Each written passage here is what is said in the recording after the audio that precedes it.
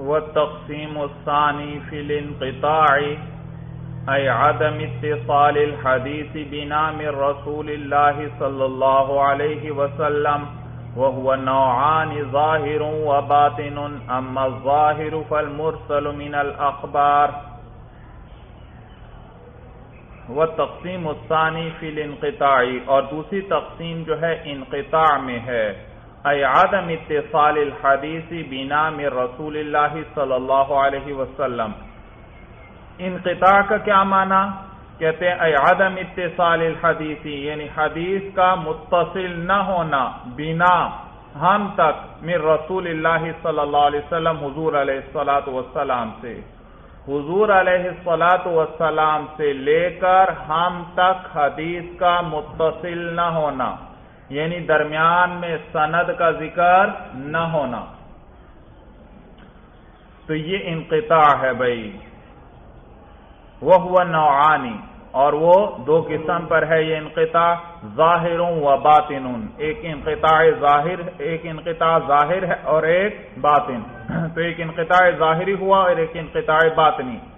اما ظاہر فالمرسل من الاخباری باقی ظاہر جو ہے تو وہ جو مرسل ہیں من الاخباری اخبار میں سے یعنی احادیث میں سے۔ تو وہ فل مرسل من الاخباری وہ جو مرسل ہیں اخبار یعنی احادیث میں سے بھی راول وفاط التی بین و بین رسول اللہ صلی اللہ علیہ وسلم۔ بائیں طور کے ذکر نہیں کرتا راوی وہ ان واسطوں کو جو کہ اس کے درمیان اور حضور صلی اللہ علیہ وسلم کے درمیان ہیں۔ بل یقول قال رسول صلی اللہ علیہ وسلم کا بلکہ یوں کہتا ہے کہ حضور علیہ السلام نے یوں فرمایا۔ بھائی یاد رکھیے، مرسل ایک اصطلاح ہے علماء اصول فقہ کی، اور ایک اصطلاح ہے علماء محدثین کی، بھائی علماء علم حدیث کی۔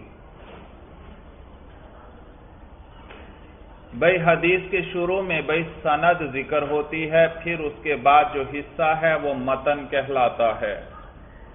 مثلا فلاں نے فلاں سے روایت کیا، اس نے فلاں سے روایت کیا، وہ فلاں صحابی سے روایت کرتے ہیں کہ حضور صلی اللہ علیہ وسلم نے یوں فرمایا۔ تو یہ جو شروع میں راوی ذکر ہوتے ہیں، اس کو سند کہتے ہیں۔ اور آگے جو بات ذکر ہو، اس کو کیا کہتے ہیں؟ متن کہتے ہیں بھائی متن۔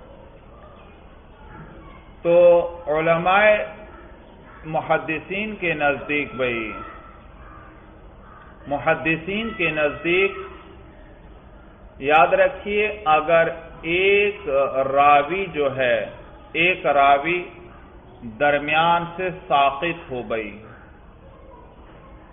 بھائی روایت کی جاتی ہے نا، ایک روایت کرنے والا کہتا ہے، میں نے اپنے استاد فلاں سے سنا۔ اس میرے استاد نے فلاں سے سنا تھا، اس کے، انہوں نے فلاں سے سنا تھا کہ حضور علیہ السلام نے اس طرح فرمایا۔ تو یہ جو درمیان میں راوی ذکر ہیں، یہ جو سند ذکر ہے، اس کے اندر اگر کوئی ایک راوی ساقط ہو یعنی کوئی ایک شخص ان راویوں میں سے وہ اپنے سے اوپر والے راوی کو ذکر نہیں کرتا۔ اپنے سے اوپر والے راوی کو ذکر مثلا، طبع تابعی روایت کر رہا ہے۔ جب طبع تابعی روایت کر رہا ہے، تو اس کو اپنے سے اوپر یعنی تابعی کو بھی ذکر کرنا چاہیے اور پھر صحابی کو بھی ذکر کرنا چاہیے۔ یہ کیا کرتا ہے؟ روایت کرتے ہوئے تابعی کو ذکر ہی نہیں کرتا، صحابی کو ذکر کر دیتا ہے کہ انہوں نے فرمایا حضور علیہ السلام نے اس طرح فرمایا۔ حالانکہ اس طبعی تابعی کی ملاقات تو صحابی سے نہیں ہوئی۔ اس کی اس نے تو کس سے سنا تھا؟ تابعی سے۔ لیکن یہ طبعی تابعی جو ہے، یہ تابعی کو ذکر نہیں کرتا، براہ راست صحابی کو ذکر کر دیتا ہے۔ تو اس طرح جو روایت ہو، جس میں روایت کرنے والا کوئی ایک راوی کسی ایک واسطے کو، کسی ایک راوی کو درمیان میں حذف کر دے۔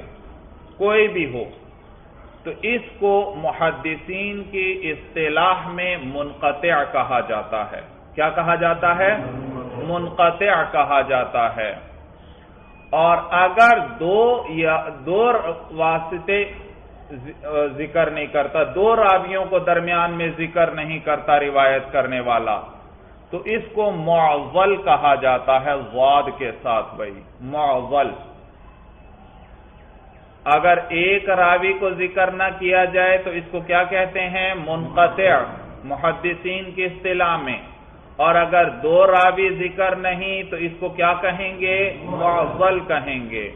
اور اگر پوری سند کو ہی حذف کر دیتا ہے روایت کرنے والا، اور براہ راست یوں کہہ دیتا ہے، قال رسول اللہ صلی اللہ علیہ وسلم، سند ذکر ہی نہیں کی سرے سے۔ تو اس کو محدثین کے نزدیک مرسل کہا جاتا ہے اس حدیث کو بھائی۔ سورج سمجھ میں آئی بھائی؟ اگر ایک راوی درمیان میں ساقط ہے سند میں سے تو اس کو کیا کہیں گے؟ منقطع۔ اگر دو ساقط ہیں تو اس کو کیا کہیں گے؟ معزل۔ اور اگر پوری سند ہی حذف کر دی، اس کو ساقط کر دیا، ذکر نہیں کیا، تو اس کو کیا کہیں گے؟ مرسل۔ یہ ہے محدثین کی اصطلاح۔ جبکہ علماء اصول فقہ کے نزدیک مرسل ان سب کو شامل ہے۔ مرسل ان سب صورتوں کو شامل ہے، ان سب کو مرسل ہی کہا جاتا ہے بھائی۔ چاہے ایک راوی ذکر نہ ہو، چاہے دو بیچ میں ذکر نہ ہو، چاہے تین ذکر نہ ہو، یا چاہے سرے سے ساری سند ہی حذف کر دی جائے۔ ان سب کو کیا کہتے ہیں؟ مرسل کہتے ہیں۔ کس کے نزدیک؟ علماء اصول فقہ کے نزدیک۔ بھائی، یہ فرق سمجھ میں آ گیا اچھی طرح؟ تو کہتے ہیں، یہ جو انقطاع حدیث کے اندر یہ دو قسم پر ہے، ایک ظاہری ہے اور ایک باطنی۔ ظاہری انقطاع تو وہ جو مرسل ہیں احادیث میں سے۔ سند میں ایک یا دو راوی ذکر ہی نہیں، یا سرے سے پوری سند ہی ذکر نہیں، تو یہ انقطاع ہے اور یہ انقطاع ظاہری ہے بھائی، ظاہراً اس کا پتہ ہے بھائی۔ سورج سمجھ میں آ گئی بھائی؟ جی یہ انقطاع ظاہری ہے کہ یہاں پر انقطاع ظاہر ہے ظاہر ہے۔ بعض اوقات انقطاع ظاہر نہیں ہوتا، وہ اگلی صورت آ جائے گی بھائی۔ کہ سند تو مثلا پوری ہوتی ہے، لیکن حدیث، قرآن یا سنت مشہورہ کے خلاف آ گئی۔ اب حدیث تو کبھی قرآن یا سنت خبر واحد تو کبھی سنت مشہورہ یا خبر واحد کے خلاف نہیں ہونی چاہیے، لیکن یہ خلاف آ رہی ہے۔ قرآن کی آیت کے خلاف ہے یا حدیث مشہورہ کے خلاف حدیث مشہور کے خلاف ہے، تو معلوم ہوا یہاں کہیں انقطاع ہے۔ اگرچہ پتہ نہیں چل رہا، لیکن کہیں نہ کہیں اس میں انقطاع ہے۔ یہ ہے انقطاع باطنی بئی تو کہتے ہیں ایک انقطاع باطنی ہے اور ایک ظاہر ہے۔ ظاہر جو ہے وہ جو مرسل ہیں اخبار میں سے بھی۔ اللہ یذکر الراب الوفائت اللتی بینہ و بین رسول اللہ صلی اللہ علیہ وسلم۔ دیبائی طور کے ذکر نہیں کرتا راوی ان واسطوں کو جو اس کے درمیان ہے اور حضور صلی اللہ علیہ وسلم کے درمیان ہے، بل یقول، بلکہ راوی یوں کہتا ہے، قال الرسول صلی اللہ علیہ وسلم کدا کہ حضور علیہ السلام نے اس طرح فرمایا وہ ہوا اربات اقسام، اور یہ جو مرسل ہیں، یہ چار قسم پر ہے لِأَنَّهُ إِمَّا أَن يُرْسِلَهُ الصَّحَابِيُّ أَوْ يُرْسِلَهُ الْقَرْنُ الثَّانِي وَالثَّالِثُ أَوْ يُرْسِلَهُ مَن دُونَهُمْ، أَوْ هُوَ مُرْسَلٌ مِّن وَجْهٍ دُونَ وَجْهٍ. چار قسم پر ہے بھائی، کہ یا تو ارسال صحابی کرے گا، کون کرے گا؟ صحابی کرے گا. یا ارسال تابعی یا تبعی تابعی کرے گا. دو قسمیں ہو گئیں. یا ان سے نیچے والے طبقے میں سے کوئی ارسال کرتا ہے طبع تابعین سے نیچے والے طبقے میں. یا چوتھی صورت یہ کہ وہ حدیث مین وجہ مرسل ہے اور مین وجہ مرسل نہیں۔ یعنی بعض روایتوں میں اس کی سند پوری ہے، بعض میں سند پوری نہیں۔ تو بعض اعتبار سے دیکھا جائے سند پوری بعض جگہ ذکر ہے۔ اور بعض جگہ اس راوی نے جب روایت کی تو سند پوری ذکر نہیں کی۔ تو مین وجہ مرسل ہوئی اور مین وجہ غیر مرسل ہوئی بھائی۔ سورج سمجھ میں آ گئی تو مرسل چار قسم پر ہوئی۔ پہلی قسم کے ارسال کون کرے گا؟ صحابی۔ دوسری قسم کے ارسال یا تابعی کرے گا یا طب تابعی۔ تیسری صورت کے ارسال طب تابعی سے نیچے والے طبقے میں کوئی کرے گا۔ اور چوتھی صورت کے وہ حدیث مرسل ہوگی من وجہ، نہ کہ من وجہ۔ تو کہتے ہیں وہ انکان من صحابی یہ فمقبول بال اگر ارسال جو ہے وہ صحابی کی طرف سے ہو تو وہ یہ حدیث مقبول ہے بال اجماع غالب حال، غالب حاله ان يسمع بنفسه منه عليه الصلاه والسلام۔ اس لیے کیونکہ صحابی کا غالب حال یہ ہے کہ اس نے خود سنا ہوگا حضور علیہ السلام سے۔ خود کیا کیا ہوگا؟ خود سنا ہوگا حضور علیہ السلام سے، کیونکہ اس کی ملاقات ہے، حضور علیہ السلام سے ثابت ہے، وہ صحابی ہے بھائی۔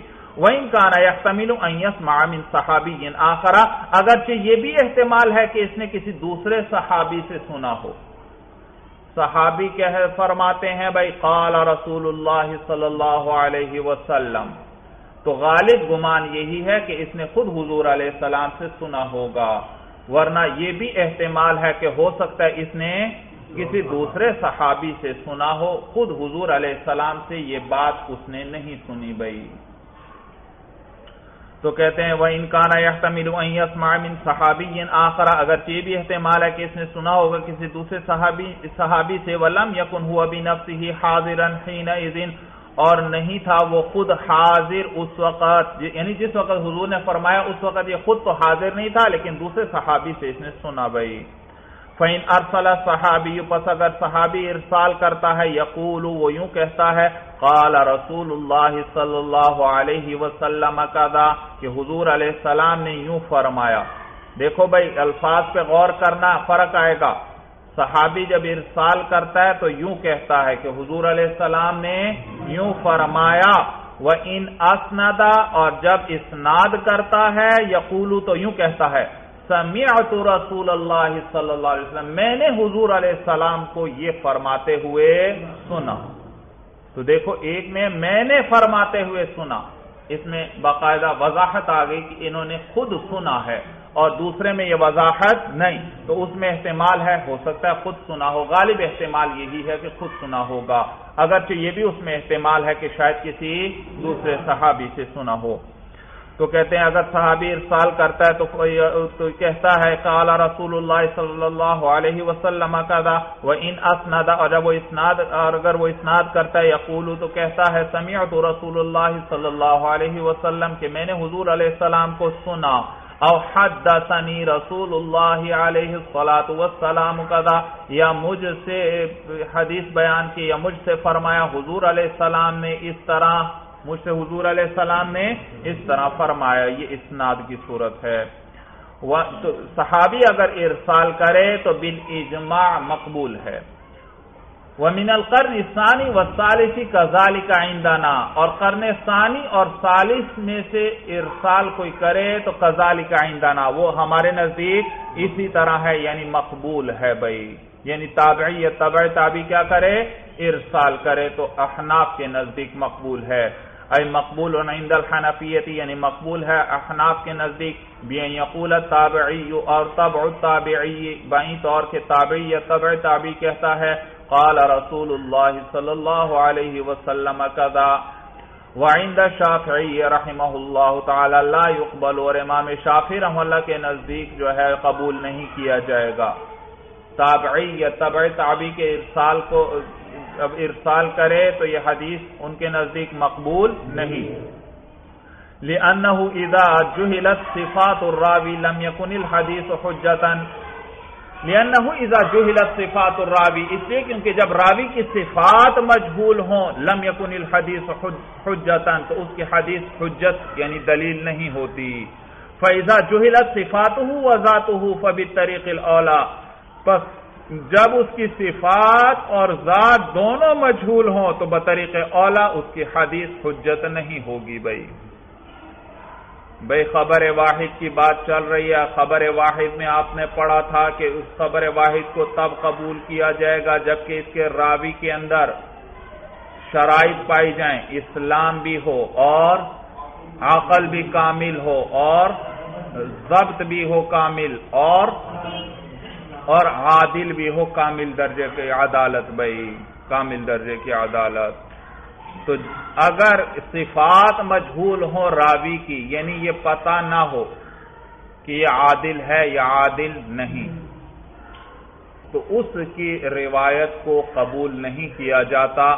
تو جب صفات مجھول ہونے کی صورت میں روایت کو اس کے قبول نہیں کیا جاتا، تو جب صفات کے ساتھ ساتھ ذات بھی مجھول ہو جائے تو بطریق اولا قبول نہیں کیا جائے گا بھائی۔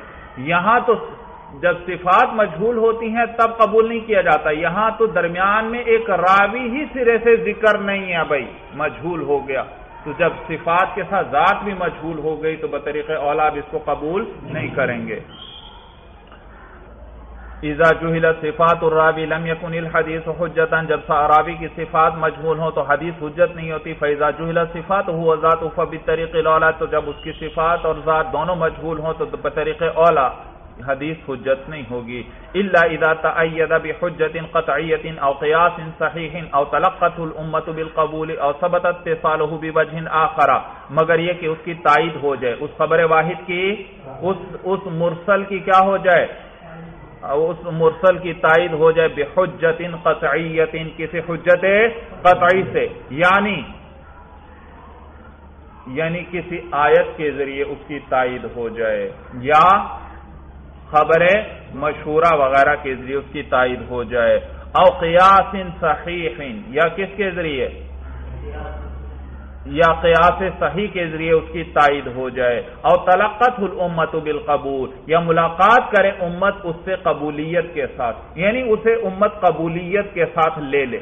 امت اسے قبولیت کے ساتھ لے لے یعنی تمام علماء فقہا اس کو قبول کر لیتے ہیں۔ تو اس صورت میں بھی وہ مقبول ہوگی۔ اور سبت اتصال ہو بھی آخرا یا ثابت ہو اس حدیث کا، اس مرسل کا اتصال کسی دوسرے طریقے سے۔ یعنی اس جگہ پر تو مرسل ہے، لیکن دوسری جگہ پر وہ حدیث مسند ہے، پوری سند کے ساتھ ہے۔ تو پھر بھی ان کے نزدیک، امام شافی رحم اللہ کے نزدیک قبول کی جائے گی۔ وَنَحْنُ نَقُولُ، ہم کہتے ہیں ان کلام نافی ارسال من لو اسندہ الى شخص آخر، کہ ہمارا کلام اس شخص کے ارسال میں ہے کہ اگر وہ اس کا اسناد کرتا الى شخص آخر، کسی دوسرے شخص کی طرف یقبل تو قبول کیا جاتا۔ ولا یظن به الكذب، اور اس کے بارے میں جھوٹ کا گمان نہ کیا جاتا۔ فلی اللہ یظن به الكذب على رسول اللہ صلی اللہ علیہ وسلم اولا تو یہ کہ گمان نہ کیا جائے، اس کے بارے میں جھوٹ کا حضور علیہ السلام پر یہ بطریق اولا ہوگا۔ یاد رکھیے، یہ جو تابعین اور طبع تابعین ہیں، ان کی مرسل یعنی مراسیل، مرسل کی جمع مراسیل۔ ان کی مراسیل بھی حجت ہیں، مقبول ہیں، عند الاحناف۔ اور اسی طرح امام مالک رحم اللہ کے نزدیک بھی اور امام احمد ابن حنبل رحم اللہ کے نزدیک بھی۔ جبکہ امام شافی رحم اللہ فرماتے ہیں کہ تابعی ہو یا طبع تابعی ارسال کرنے والا، ان کی جو احادیث مرسلہ ہیں وہ مقبول نہیں، وہ حجت نہیں۔ کیونکہ وہ کہتے ہیں جب صفات مجھول ہو جائیں تو حدیث حجت نہیں بن سکتی، جب راوی کی صفات مجھول ہو جائیں تو حدیث حجت نہیں بن سکتی، تو جب صفات کے ساتھ ذات بھی مجھول ہو جائے پھر تو بطریق اولا حدیث حجت نہیں بنے گی۔ ہم کہتے ہیں کہ ہمارا کلام اس شخص کے ارسال میں ہے کہ اگر وہ ارسال نہ کرتا اور سند بیان کرتا، کیا کرتا؟ بھائی دیکھیے سورت مثلا یہ ہے بھائی، یہ تابعی یہ طبع تابعی روایت کر رہا ہے اور اس سے اوپر کون آئے گا؟ تابعی، اور تابعی سے اوپر کون آئے گا؟ صحابی۔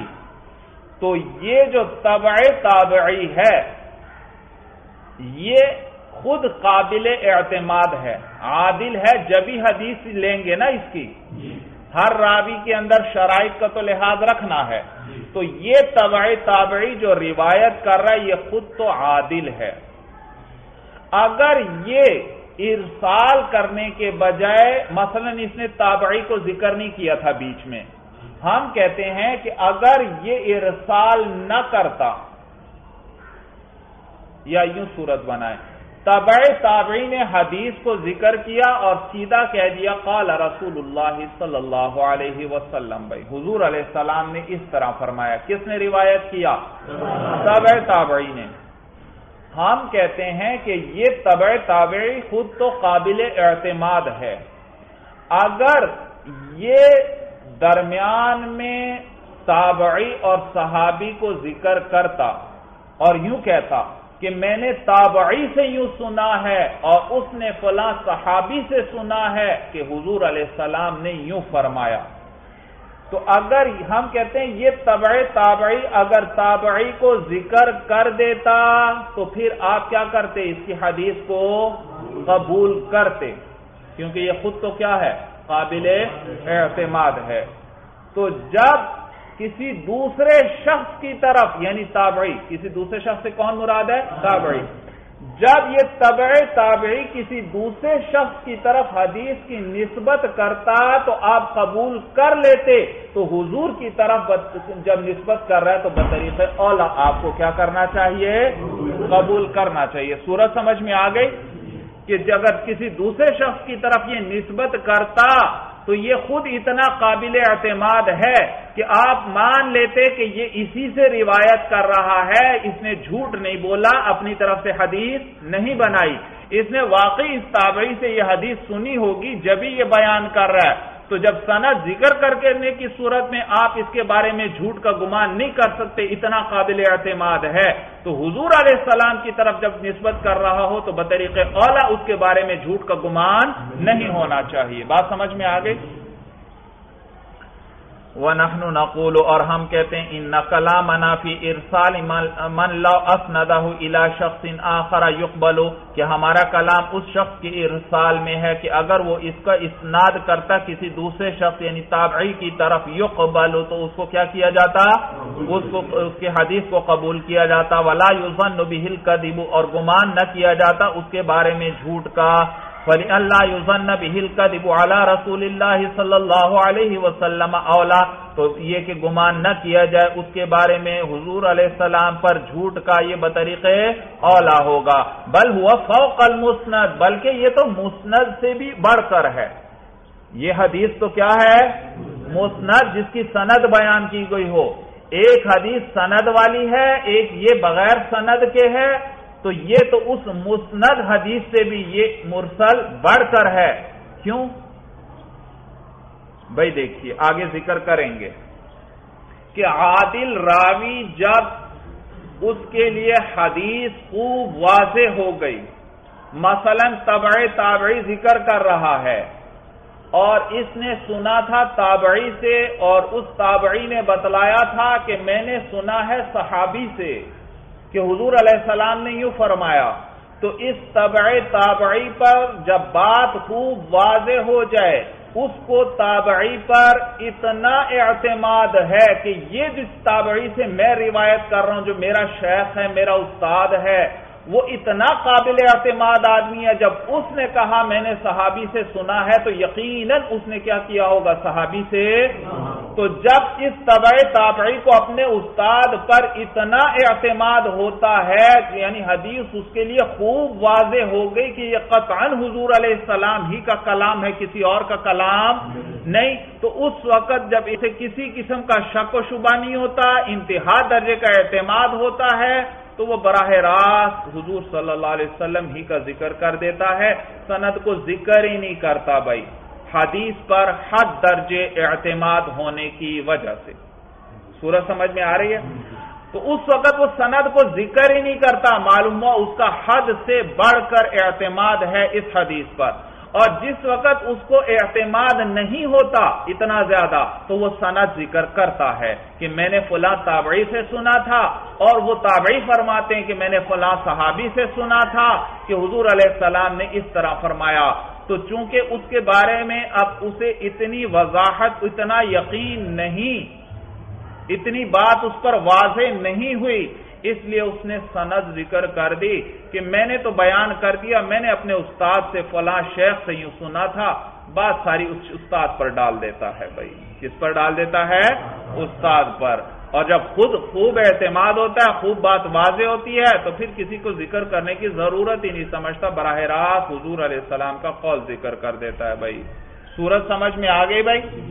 کہتے ہیں، بل ہوا فوق المسند، بلکہ یہ مرسل تو مسند سے بھی اوپر ہے، لأن العدل اذا تضح له طریق الاسناد، اس لیے کیونکہ عادل جو ہے، جب واضح ہو جائے اس کے لیے اسناد کا طریقہ، یقول بلا وسوسط تو وہ بغیر کسی وسوسے اور شک کے کہتا ہے، قال علیہ الصلاة والسلام قضا کہ حضور علیہ السلام نے یوں فرمایا وَإِذَا لَمْ يَتَّضِحْ لَهُ ذَلِكَ اور جب اس کے لیے یہ واضح نہ ہو یعنی اسناد کا طریقہ واضح نہ ہو یذکر اسماء الراوی تو پھر وہ راوی کے اسماء کو ذکر کرتا ہے لِيَحْمِلَهُ تاکہ اس راوی پر ڈال دے ما وہ چیز تحملہ عنہ۔ تاکہ اس راوی پر ڈال دیں، ما وہ چیز تحمل عنہ جو اس نے اس سے لی تھی۔ اس نے جو روایت اس سے لی تھی، اس کو اسی پر ڈال دے کہ میں نے تو فلاں سے سنا ہے۔ اس راوی سے انہوں نے فرمایا، یوں فرمایا تھا، یہ حدیث ذکر کی تھی۔ تو یہ مانا ہے لیا ملا ہو تاکہ اس راوی پر ڈال دے، ما تحم ملان جو اس نے اس سے لیا تھا۔ ویا فروغ ذمت ہو منظال کا اور اس کا اپنا ذمہ اس سے کیا ہو جائے؟ فارغ ہو جائے بھائی۔ سورج سمجھ میں آ رہی ہے سب کو؟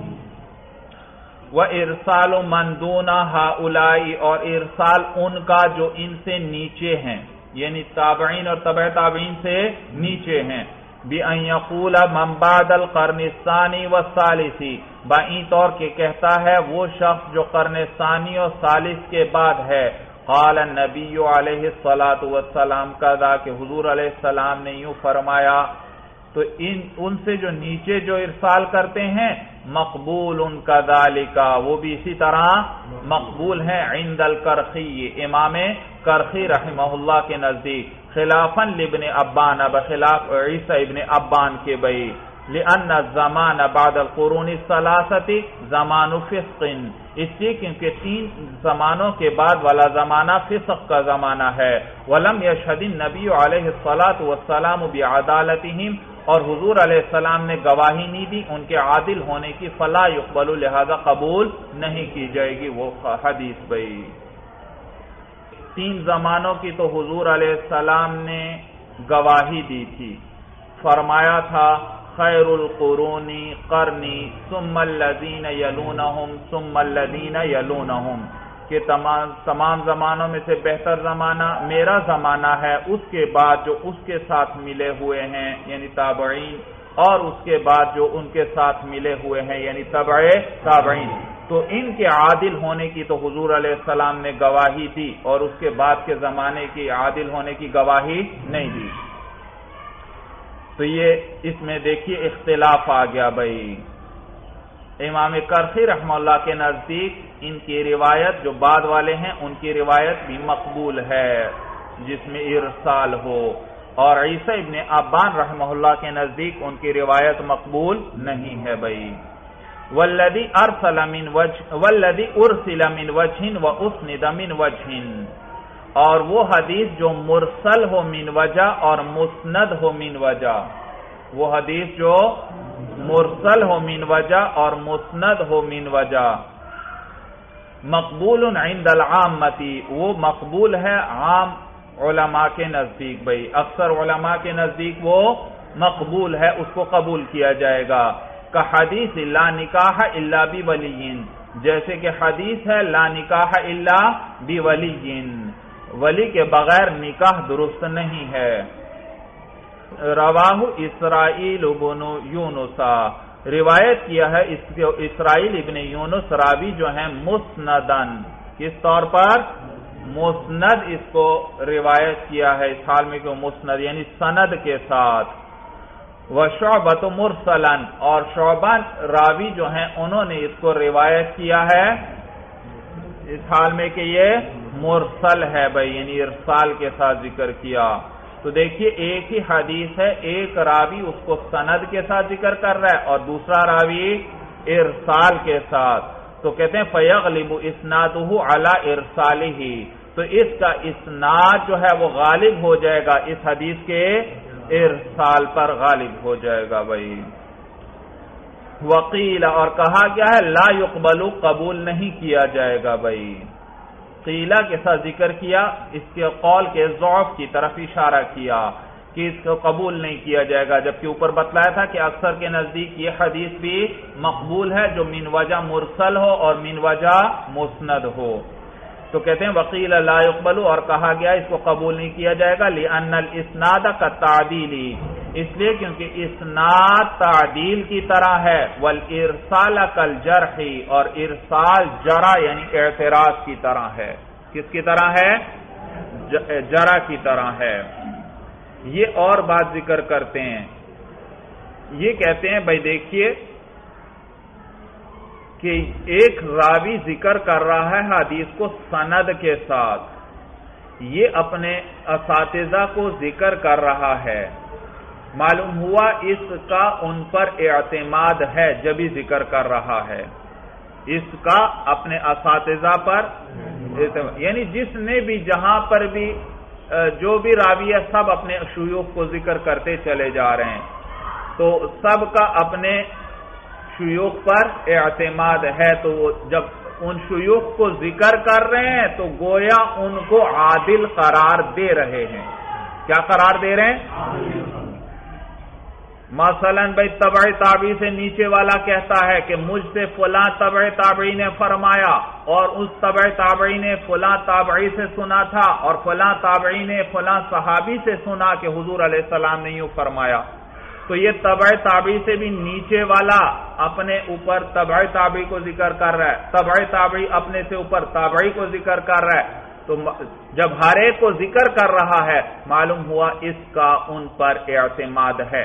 ان کیونکہ حدیث کی روایت کے اندر کیا شرط تھی؟ کس سے راوی کا کیا ہونا ضروری؟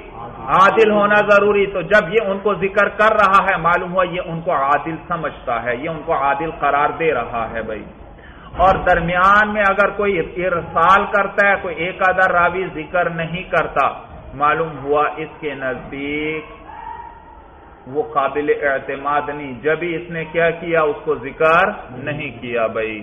تو سند کو ذکر کرنا یہ تعدیل کی طرح ہے یعنی قابل اعتماد قرار دینا، عادل قرار دینا۔ اور سند کو ذکر نہ کرنا یہ کس کی طرح ہے؟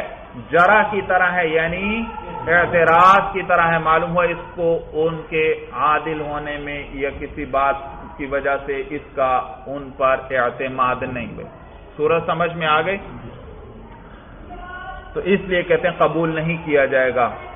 دیکھیے کہتے ہیں وکیل اللہ اقبال اور کہا گیا قبول نہیں کیا جائے گا لیا اسناد کا تعدیل ارسال کل جرحی اس لیے کیونکہ سند ذکر کرنا یہ تعدیل کی طرح ہے، عادل قرار دینے کی طرح ہے ول ارسال کل جرحی اور ارسال اعتراض کرنے کی طرح ہے وہ عزتم الجرح و تعدیل و یغلب الجرح، اور جب جرا اور تعدیل دونوں جمع ہو جائیں تو جرا غالب ہوتی ہے۔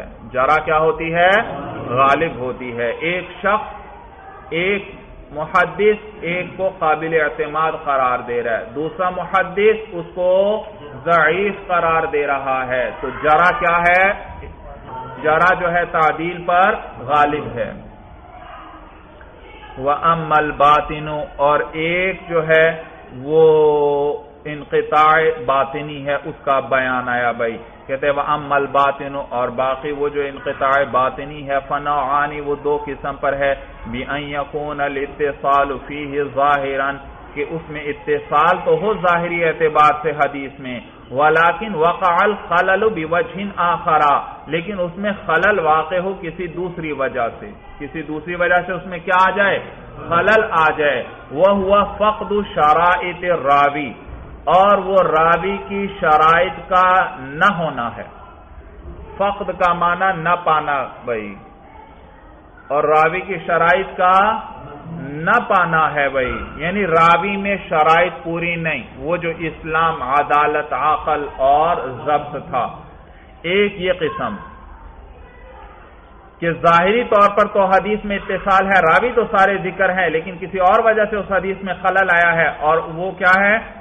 یا تو راوی کی شرائط کا نہ ہونا ہے، او مخالفت ہو دلیل یا اس حدیث کا مخالف ہونا ہے اپنے سے اوپر والی دلیل کے۔ وہ حدیث تو کیا ہے؟ خبر واحد۔ وہ اپنے سے اوپر والی دلیل یعنی کسی آیت یا سنت مشہورہ کے خلاف ہے۔ یہ دوسری قسم ہے۔ ایک قسم کیا ہوئی بھائی؟ انقطاع باطنی کی، کہ راوی میں شرائط نہیں پائی جا رہی۔ دوسری انقطاع باطنی کی کیا صورت ہوئی کہ وہ حدیث اپنے سے اوپر والی کسی دلیل کے مخالف ہو گئی۔ فَإِن كَانَ لِنُقْصَانٍ فِي النَّاقِلِ، اگر وہ جو انقطاع باطنی ہے، ناقل، نقل کرنے والے یعنی راوی میں کسی نقصان کی وجہ سے ہے، کمی کی وجہ سے ہے، فَهُوَ عَلَى مَا ذَكَرْنَا تو وہ اسی قسم پر ہے، اسی طور پر ہے جو ہم نے ذکر کر دیا۔ ہم نے کیا ذکر کیا تھا؟ کہ اگر خبر واحد کے راوی میں چار شرائط نہ پائی جائیں تو اس کی حدیث کو قبول نہیں کیا جائے گا۔ تو یہاں بھی اسی طرح ہے۔ اگر اس کے راوی میں کوئی کمی ہے یعنی ان شرطوں میں سے کوئی شرط پوری نہیں، تو اس کی حدیث کو قبول نہیں کیا جائے گا۔ وہ پس وہ اسی طور پر ہے جو ہم نے ذکر کیا، من عدم قبول خبر الکافر والفاسق والصبی والمغفل یعنی قبول نہ کرنا کافر، فاسق، بچے اور غافل شخص کی خبر کو۔ وہ انکان بل عارضی اور اگر وہ پیش کرنے کی وجہ سے ہے، اگر اس میں نقصان جو انقطاع ہے، کس وجہ سے ہے؟ پیش کرنے کی وجہ سے۔ یعنی اس خبر واحد میں جو بات بیان ہوئی، ظاہری طور پر تو سند میں اتصال ہے، سارے راوی ذکر ہیں۔ لیکن اس حدیث کو ہم نے پیش کیا کتاب اللہ پر، تو کتاب اللہ کی آیت اس کے خلاف ہے۔ یا اس حدیث کو ہم نے پیش کیا کس پر؟ سنت مشہورہ پر، تو وہ اس کے خلاف ہے۔ یہ مانا ہے پیش کرنا۔ تو اور اگر انقطاع باطنی جو ہے بالعرضی وہ پیش کرنے کی وجہ سے ہو بھی انخال افل کتاب بائیں طور کے وہ کتاب اللہ کے مخالف ہو کہ حدیث اللہ فلاط اللہ بفات حتل کتاب جیسے کہ حدیث ہے اللہ فلاط اللہ بفات حتل کتاب کہ نماز نہیں ہے مگر فاتحت الکتاب کے ساتھ ہی یعنی سورہ فاتحہ کے ساتھ ہی نماز ہوگی۔ معلوم سورہ فاتحہ کا پڑھنا فرض ہے۔ سورہ فاتحہ کا پڑھنا فرض ہے۔ اس حدیث کو ہم نے کتاب اللہ پر پیش کیا تو یہ حدیث یخالف لعموم قوله تعالی۔ تو یہ حدیث مخالف ہوئی اللہ تعالی کے اس قول کے عموم کی فقرؤ ما تیسر من القرآن۔ پس تم پڑھو جو تمہیں میسر ہو قرآن میں سے۔ جو تمہیں میسر ہو قرآن۔ قرآن سے تو معلوم ہوا کہ جہاں کہیں سے بھی قرآن آسانی سے جو بھی یاد ہو وہ پڑھ لیا جائے تو فرض ادا ہو جائے گا بھائی نماز کا۔ فقر ما تیسر من القرآن۔ جو بھی میسر ہو، جو بھی آسان ہو، کس میں سے؟ قرآن میں سے۔ تو وہاں عموم ہے، جو بھی آسان ہو وہ پڑھ لو بھائی۔ اور یہاں کیا پتا چل رہا ہے حدیث سے؟ کہ فاتحت الکتاب کا پڑھنا ضروری ہے، اس کے بغیر نماز ہی نہیں۔ تو یہ حدیث اس آیت کے عموم کے خلاف ہوئی۔ تو لہذا اس کو یہ مقبول نہیں بھائی۔ وق حدیث من مس ذکرہ فلیتوضا اور جیسے کہ حدیث ہے من مس ذکرہ کہ جو شخص اپنے ذکر کو چھولے فلیتوضا پس اسے کیا کرنا چاہیے وضو کرنا چاہیے یخالف قوله تعالی یہ مخالف ہے اللہ تعالی کے اس قول کے فیہ رجال یحبون ان یتطہروا اس مسجد میں یعنی مسجد قباء میں کچھ ایسے لوگ ہیں جو ہبون جو پسند کرتے ہیں پاکیزہ ہونے کو۔ جو پاکیزگی کو کیا ہیں؟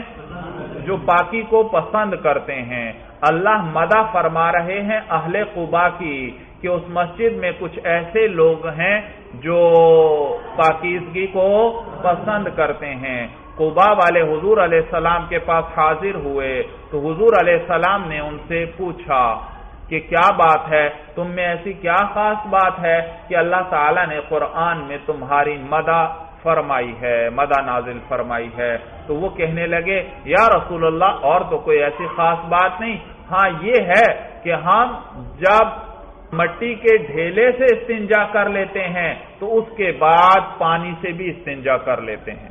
تو اس کے بعد پانی سے بھی استنجا کر لیتے ہیں۔ تو اس پر دیکھو، اللہ نے ان کی مدہ فرمائی بھائی۔ معلوم ہوا کہ یہ جو پانی سے استنجا کرنا، پانی سے استنجا کرنا اس سے کامل پاکی حاصل ہوتی ہے۔ کیونکہ اللہ نے یحبون ہرو وہ پسند کرتے ہیں پاک ہونے کو، کہ وہ پاک ہوں۔ تو اس میں پاکیزگی کو مطلق ذکر فرمایا ہے اللہ نے۔ معلوم ہوا یہ پانی سے استنجا کرنا ہر اعتبار سے پاکی ہی پاکی ہے۔ ہر اعتبار سے پاکی ہی پاکی ہے بھائی۔ کیونکہ پاکی کو مطلق ذکر فرمایا اور المطلق یطلق یراد به الفرد الکامل۔ مطلق، جب کو مطلق ذکر کیا جائے تو اس سے مراد اس کا فرد کامل ہے۔ معلوم ہوا یہ کامل پاکیزگی ہے۔ یہ استنجا بالما کیا ہے؟ کامل پاکیزگی ہے۔ ہر لحاظ سے پاکی ہی پاکی ہے۔ اور اس کے مقابلے میں حدیث کو دیکھا جائے۔ مس زکر فلیت جو شخص اپنے زکر کو چھوئے تو اسے چاہیے کہ وضو کر لے بھائی اس حدیث سے معلوم ہو رہا ہے کہ مس زکر یعنی مس شرمگاہ وہ ناقض للوضو ہے۔ وہ کیا ہے؟ ناقض للوضو ہے۔ جب ناقض للوضو ہوا تو گویا یہ اس سے حدث لاحق ہوتا ہے۔ کیا لاحق ہوتا ہے؟ یعنی شرمگاہ کو چھونے سے حدث لاحق ہوتا ہے۔ یہ معلوم ہوا یعنی اس حدیث سے؟ اور اللہ نے ادھر ذکر فرمایا، اس آیت سے کیا معلوم ہوا؟ کہ استنجا بالما کامل پاکی ہے۔ تو اگر اس حدیث کو لیا جائے، تو اس حدیث سے تو یہ معلوم ہوتا ہے کہ استنجا بالما ناقص للوضو ہے، وہ حدث ہے اور اس سے حدث لاحق ہوتا ہے۔ معلوم، اور جب بھی کوئی شخص استنجا بالما کرے گا تو مس سے ذکر ہوگا یا نہیں؟ تو ٹھیک ہے، ظاہری نجاست تو بدن سے دور ہو رہی ہے۔ ظاہری نجاست، وہ تو کیا ہے، بدن سے؟ لیکن نجاست حکمیہ ساتھ ساتھ آ رہی ہے یا نہیں آ رہی؟ تو یہ کامل پاکی ہوئی کامل پاکی نہ رہی۔ حالانکہ قرآن سے کیا معلوم ہوا؟ کہ استنجا بالما کامل پاکی ہے۔ اور حدیث سے کیا معلوم ہو رہا ہے؟ استنجل بالما کامل پاکی، تو یہ اس کے خلاف ہوئی۔ لہذا اس اور قرآن کو تو ترجیح ہے۔ تو اس وجہ سے اس حدیث کو پر عمل نہیں، اس کو قبول نہیں کیا بھائی۔ لیکن یاد رکھیے، یہ نہیں کہ بالکل ترک کر دیا اس حدیث کو یا پہلی حدیث کو۔ پہلی حدیث میں کیا تھا؟ لا صلاة الا بفاتحة الكتاب تو وہاں مطلق قرات ہمارے نزدیک فرض ہے، جبکہ سورہ فاتحہ کی قرات یہ واجب ہے۔ یہ کیا ہے؟ واجب ہے واجب ہے۔ یعنی مطلق قرات سے فرض ادا ہو جائے گا۔ البتہ فاتحہ کا پڑھنا بھی واجب ہے۔ اور واجب کے بارے میں آپ جانتے ہیں۔ کہ اگر بھولے سے رہ جائے تو کیا کرنا پڑے گا؟ سجدہ سہو کرنا پڑے گا۔ اور اگر جان بوجھ کر چھوڑتا ہے، سورہ فاتحہ کی تلاوت نہیں کرتا، تو واجب کو جان بوجھ کر چھوڑا جائے تو نماز کی ادا نہیں ہوتی بھائی۔ تو معلوم ہوا اس حدیث کو پر ہم بھی عمل کرتے ہیں، لیکن فاتحہ کو قرآن آیت سے کم درجہ ہوگا اس کا؟ تو آیت سے مطلق قرآت کا فرضیت آئے گی اور سورہ فاتحہ کا پڑھنا واجب۔ اور یہاں کیا آیا ہے؟ میں مست ذکر فلیت تو اس کو ہم استحباب پر محمول کرتے ہیں۔ کس پر؟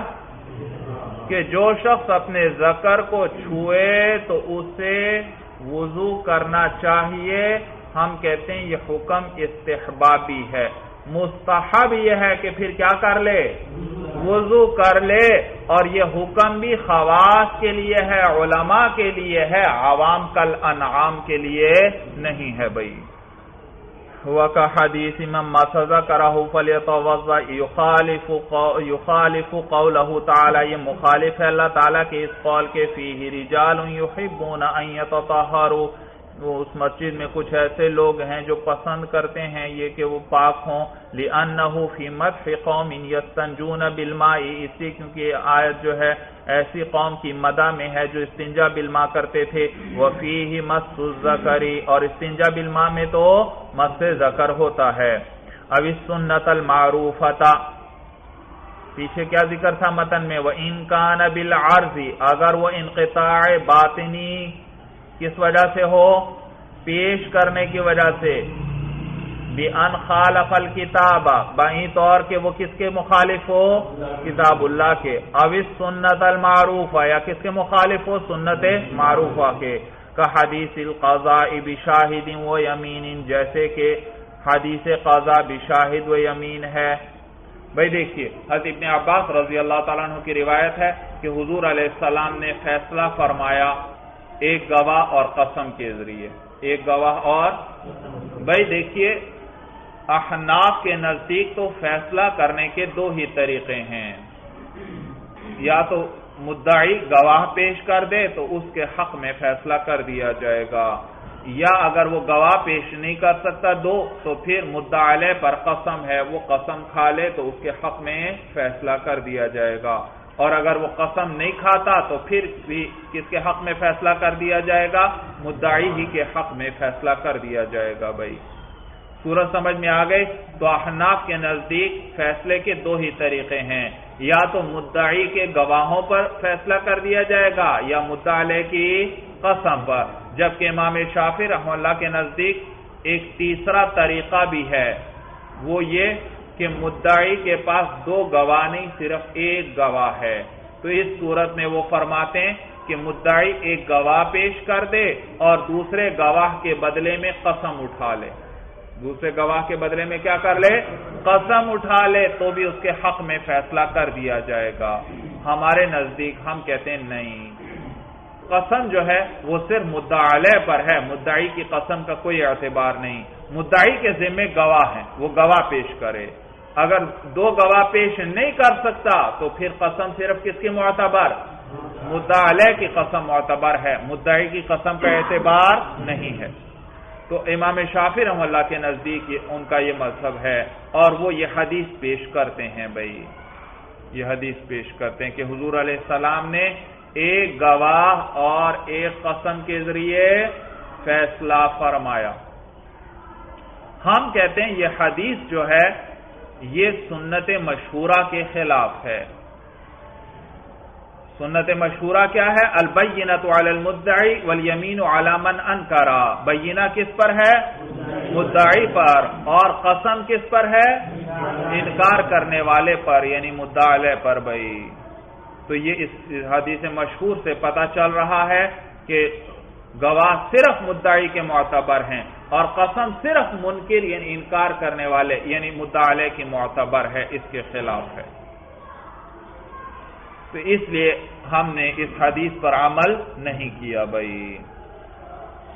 تو کہتے ہیں کہ حدیث القضاء بشاہدین و یمین، جیسے کہ حدیث ہے، قضاء بشاہدین و یمین کی ایک گواہ اور قسم پر فیصلہ کرنے کی۔ یخالف قولہ علیہ الصلاة والسلام، یہ مخالف ہے حضور علیہ السلام کے اس قول کے البینت علی المدعی والیمین علی من انکر، وہو مشہور، اور یہ حدیث تو مشہور ہے بھائی، مشہور ہے۔ یہ تو ایک جواب بھائی، ایک جواب۔ ہمارے پاس یاد رکھیے، احناف کے پاس ہر مسئلے کے اندر دلائل کے انبار ہیں مولانا، دلائل کے انبار۔ لیکن یہاں کسی خاص مسئلے پر بحث مقصود نہیں ہے۔ بس اس جو بحث چل رہی ہوتی ہے، اس کے مطابق ایک آدھ جواب ذکر کر دیا جاتا ہے بھائی، ایک آدھ جواب۔ ایک اور جواب بھی اس کا یاد رکھیں بھائی۔ دوسرا جواب ہم اس حدیث کا یہ دیتے ہیں کہ حضور علیہ السلام نے فیصلہ فرمایا بھائی۔ حدیث کس طرح ہے بھائی؟ یہ حاشیے میں آپ کی یہ حدیث دی ہوئی ہے۔ عن ابن عباس رضی اللہ تعالی عنہما ان رسول اللہ صلی اللہ علیہ وسلم قضا بیمین و شاہدین کہ حضور علیہ السلام نے فیصلہ فرمایا قسم اور ایک گواہ کے ذریعے۔ یہ حدیث ہے۔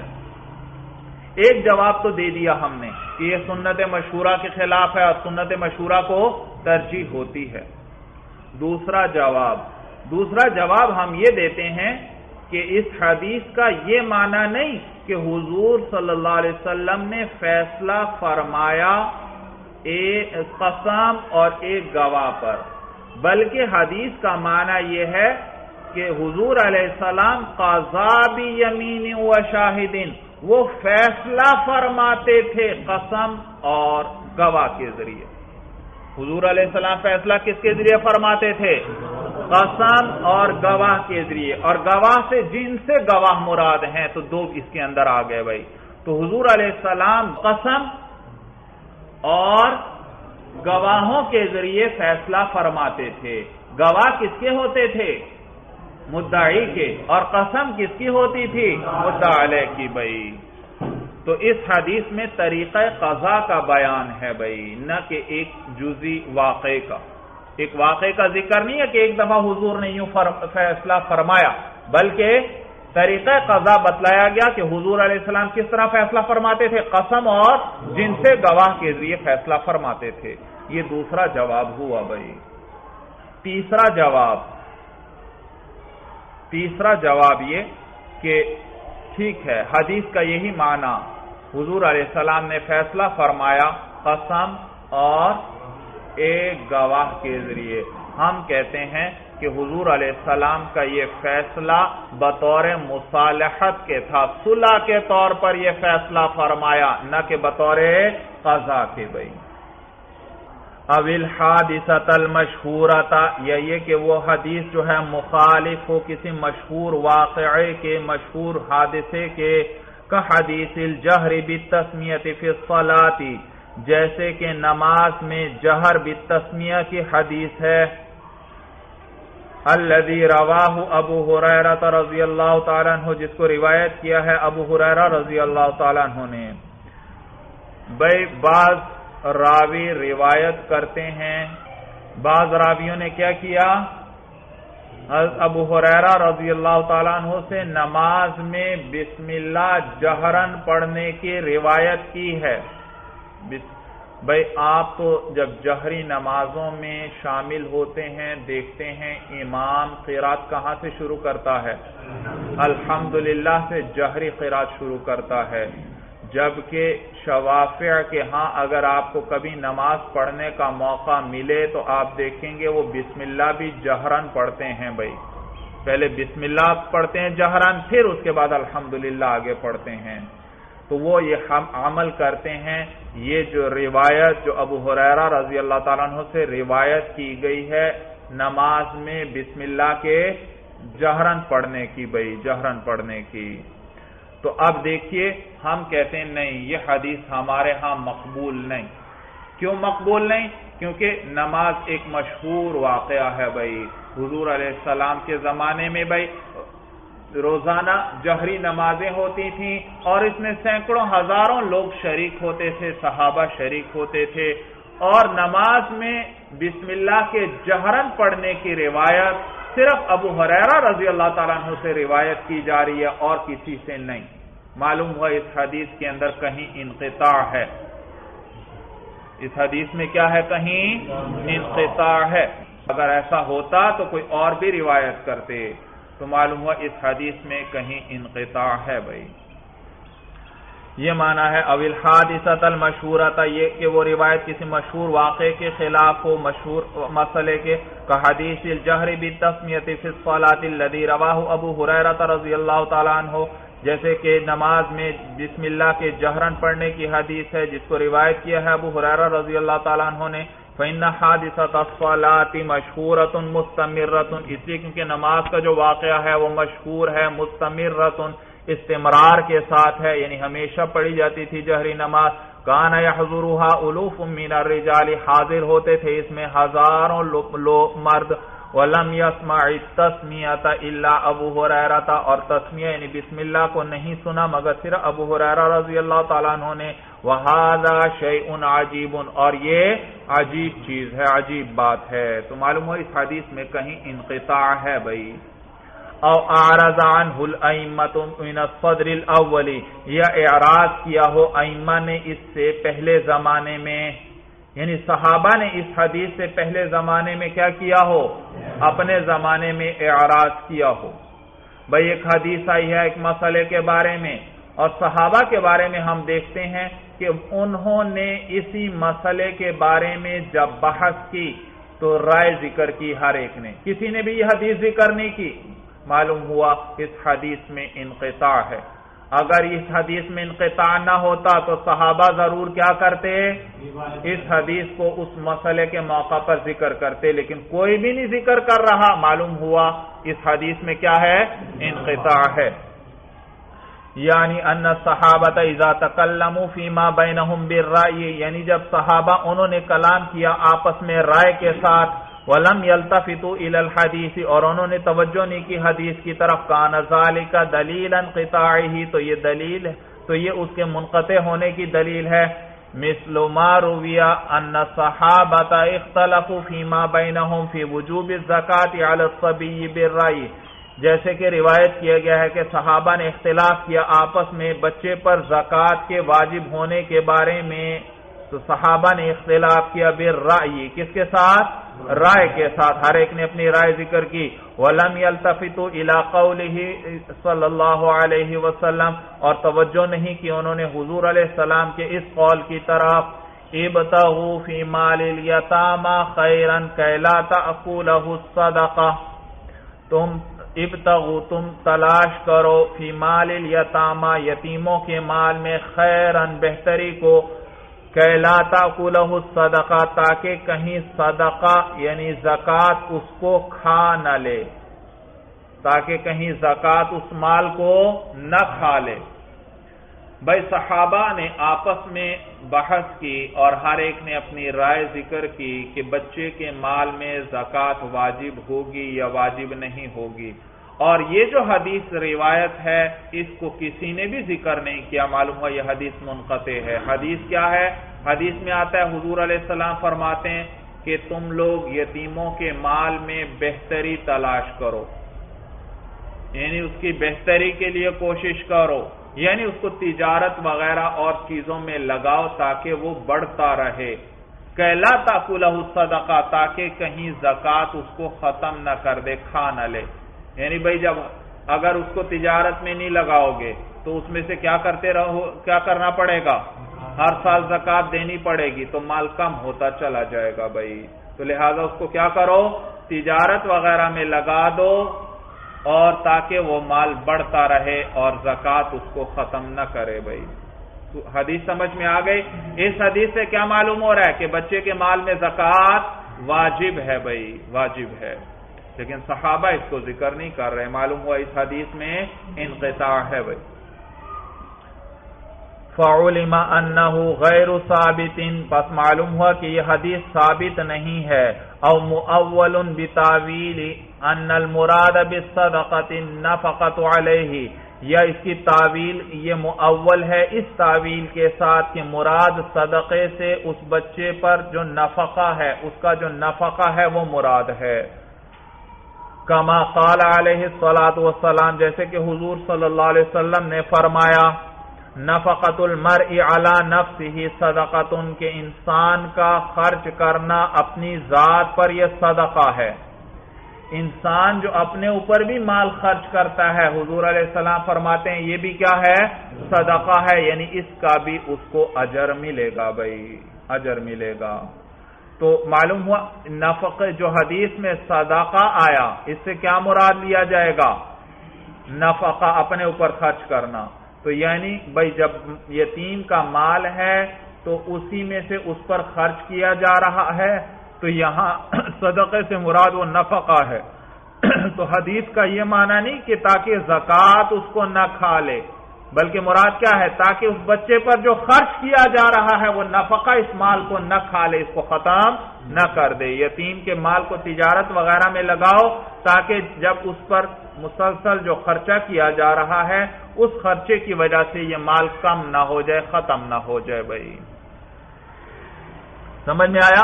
معلوم ہوا یہ حدیث یا تو ثابت ہی نہیں، اگر صدقہ کو صدقہ کے معنی میں رکھیں، یا اس میں اس میں تعویل کی جائے گی اور کیا کہا جائے گا؟ صدقہ سے کیا مراد ہے؟ نفقہ. مراد ہے تو بھی بات درست ہو جائے گی۔ تو معلوم ہوا زکات نہیں مراد بھائی۔ کان مردودن یہ جواب ہے ان کا۔ پیچھے کیا آیا تھا؟ وہ ان کان بل اور اگر انقطاع باطنی جو ہے کس وجہ سے ہے؟ پیش کرنے کی وجہ سے یعنی ہم نے اس کو کتاب اللہ پر پیش کیا، سنت معروفہ پر اور پھر ان کے مخالف ہوا۔ تو یہ ساری صورتوں میں کانا مردود منقطع ایزا۔ تو یہ حدیث کیا ہوگی؟ مردود یعنی اس کو رد کیا جائے گا منقطع اور یہ منقطع ہوگی بھائی۔ منقطع ہوگی۔ کون کون سی صورتیں آ گئیں؟ کتاب اللہ کے اگر مخالف ہوئی، ایک صورت، دوسری۔ سنت معروفہ کے خلاف ہوئی۔ تیسری صورت۔ حادثہ مشہورہ کے خلاف ہو۔ اور چوتھی صورت کہ صحابہ نے اس سے کیا کیا ہو؟ اعراض کی ان چاروں صورتوں میں یہ حدیث جو ہے یہ مردود و منقطع ہے۔ جواب ان یہ کان مردودن ترکیب بتلا رہے ہیں۔ جواب ان، یہ کیا ہے؟ ان کا جواب ہے۔ ایقون الخبر فی کل من هذه المواضع الاربعه مردودا یعنی حدیث ان چاروں جگہوں کے اندر مردود ہوگی۔ کما فی النوع الاولی، جیسے کس میں تھا؟ نوع اول، پہلی قسم کے اندر۔ پہلی قسم کون سی تھی بھائی؟ جس میں ناقل میں نقصان تھا بھائی۔ انقطاع باطنی دو قسم پر تھا نا۔ ایک انقطاع باطنی کس وجہ سے تھا کہ رابی میں شرائط پوری نہیں اور دوسری صورت کیا تھی؟ وہ اپنے سے اوپر والی دلیل کے خلاف وغیرہ باقی وہ اس میں آ گئی تھی تو یعنی پہلی قسم یعنی جس میں ناقل یعنی راوی کے اندر شرائط پوری نہیں ہوتی تھی تو حدیث کو کیا کیا جاتا تھا؟ قبول نہیں کیا جاتا تھا، رد کیا جاتا تھا۔ تو یہاں پر بھی اس کو کیا کیا جائے گا؟ رد کیا جائے گا بھائی۔ یہاں تک بات سمجھ میں آ گئی بھائی؟ اچھی طرح۔ تو یہ حدیث کی تقسیم تھی انقطاع کے اعتبار سے۔ اور اس اعتبار سے انہوں نے بتلایا حدیث دو قسم پر ہے۔ ایک ہے مقبول، ایک ہے مردود۔ ایک ہے مقبول اور ایک ہے مردود۔ کچھ صورتیں ذکر کی جن میں حدیث کیا ہوگی؟ مقبول۔ کچھ صورتیں ذکر کی جن میں حدیث کیا ہوگی؟ مردود۔ حضرت والد صاحب شیخ الحدیث و تفسیر حضرت مولانا محمد موسا روحانی بازی رحمہ اللہ، ان کی عجیب عجیب استدلالات اور مسائل کے اندر بڑی عجیب اور قوی رائے اور پیاری دلیلیں جو وہ خود ان کو اپنی طرف سے جو وہ ذکر کرتے تھے۔ یہاں پر بھائی تمام محدثین اور علماء اصول فقہ حدیث کی دو قسمیں بناتے ہیں کہ یا حدیث کیا ہوگی؟ مقبول ہوگی یا مردود ہوگی؟ والد صاحب اس پر بڑے غم کا اظہار فرماتے اور فرماتے کہ یہ مردود کا نام مجھے پسند نہیں ہے بھائی۔ حدیث ہو اور اس کے لیے مردود کا لفظ استعمال کیا جائے بھائی۔ وہ فرماتے تھے، یہ مجھے پسند نہیں ہے۔ وہ فرماتے تھے، اس کا اور نام ہونا چاہیے بھائی۔ چنانچہ فرماتے کہ میرے نزدیک تقسیم یوں ہونی چاہیے کہ یوں کہا جائے کہ حدیث یا تو مقبول ہوگی یا ضعیف ہوگی بھائی۔ مردود کا لفظ نہ استعمال کیا جائے بھائی۔ یہ سوء ادب ہے بھائی، حدیث کے لیے مردود کا لفظ استعمال کیا جائے۔ تو وہ کیا فرماتے تھے کہ کیا کہا جائے کہ حدیث یا کیا ہوگی؟ مقبول ہوگی یا ضعیف ہوگی؟ یا یوں کہا جائے کہ حدیث یا تو مقبول ہوگی یا غیر مقبول ہوگی۔ مردود کا لفظ نہ استعمال کیا جائے کیونکہ یہ کیا ہے؟ سوئے ادب ہے۔ اور نیز بھائی، یہ حدیث ہر اعتبار سے اس کو رد بھی نہیں کیا جاتا بھائی۔ آپ نے بھی سنا ہوگا، بارہا اپنے اساتذہ سے اور پڑھا ہوگا کہ فضائل کے باب میں ضعیف حدیث بھی بال اجماع مقبول ہے بھائی۔ فضائل کے باب میں بال اجماع ضعیف حدیث بھی مقبول ہے۔ حالانکہ مردود کے لفظ سے تو یہ وہم پڑتا ہے کہ شاید ہر اعتبار سے اس کو کیا کیا جائے گا؟ رد کیا جائے گا۔ حالانکہ ایسا نہیں ہے بھائی۔ تو دیکھیے کتنی پیاری بات ان کی کہ مردود کے لفظ کے بجائے کیا استعمال ہونا چاہیے؟ ضعیف کا، یا اس کے بجائے غیر مقبول کا لفظ استعمال ہونا چاہیے بھائی۔ میں نے بتلایا ان کے بڑے عجیب عجیب نکات ہوتے تھے کہ انسان سنتا ہے تو حیران رہ جاتا ہے بھائی، حیران رہ جاتا ہے۔ حدیث کو حدیث کیوں کہا جاتا ہے بھائی؟ علماء اس کی کئی وجوہ تسمیہ ذکر کرتے ہیں۔ والد صاحب ایک بڑی عجیب وجہ تسمیہ اپنی طرف سے ذکر فرماتے تھے۔ وجوہ تسمیہ بھائی محدثین اور علماء نے حدیث کے جو ذکر کیا ہے کہ حضور علیہ السلام کے کلام کو حدیث کیوں کہا جاتا ہے؟ تمام محدثین اور علماء نے تقریباً اس کی پانچ چھ وجوہات ذکر کی ہیں۔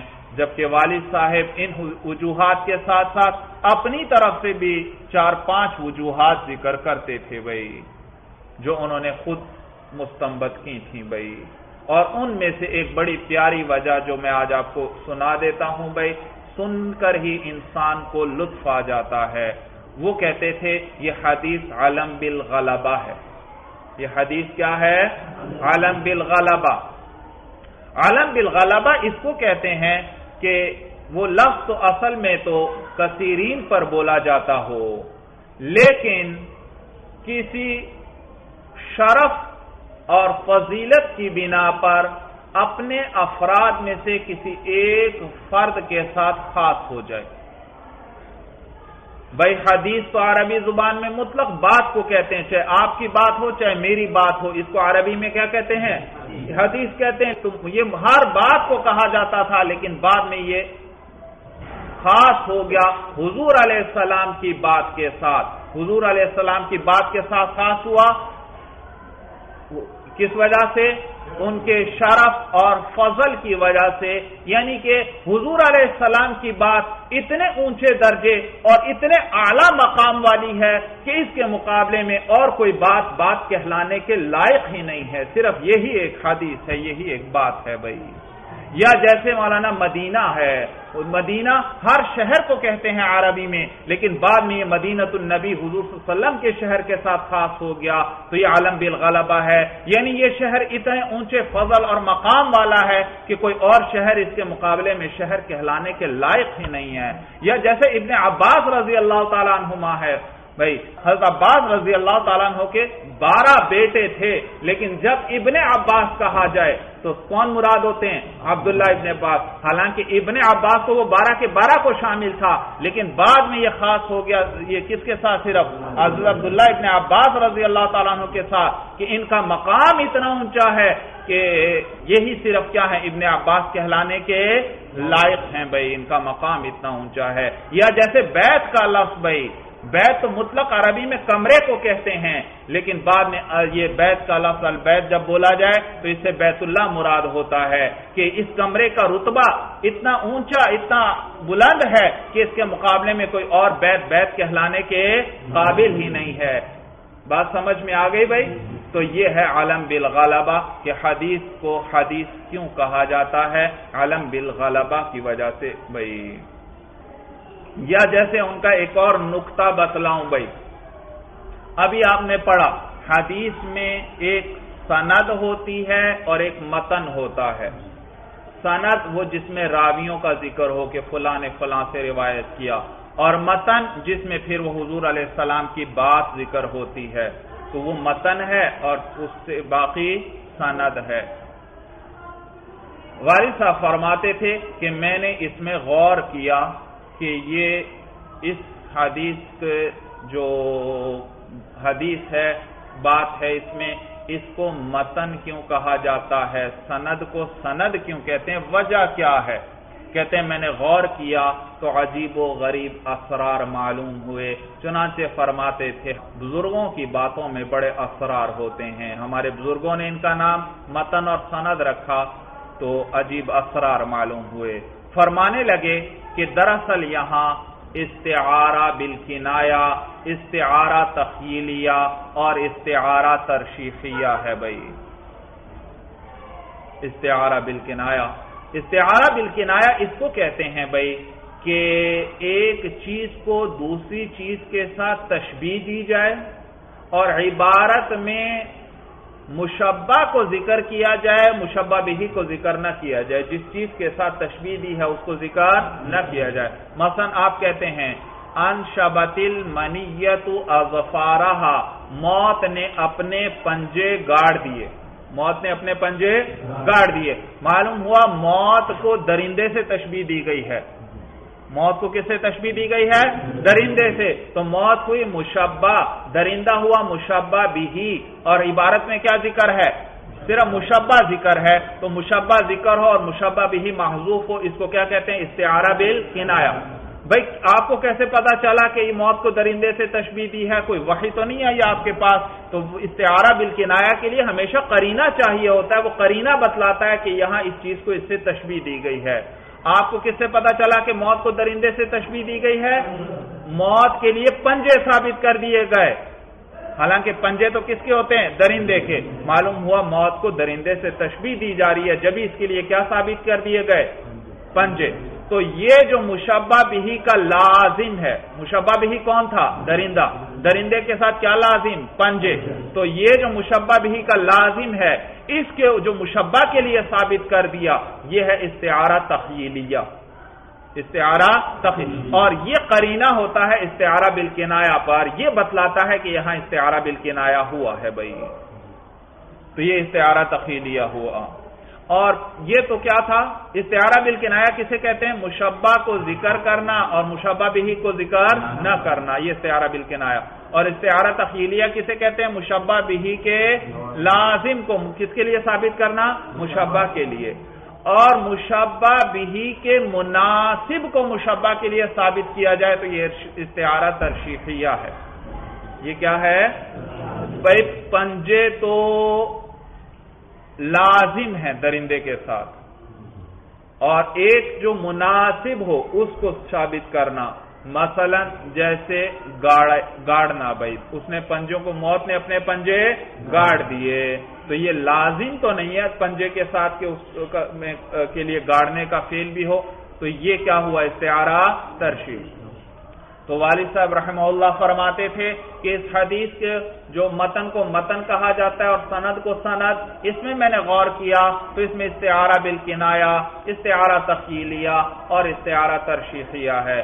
استعارہ بالکنایا کس طرح ہے؟ کہتے ہیں میں نے غور کیا تو معلوم ہوا کہ حدیث کو تشبیح دی گئی ہے ایک معزز و مکرم انسان کے ساتھ۔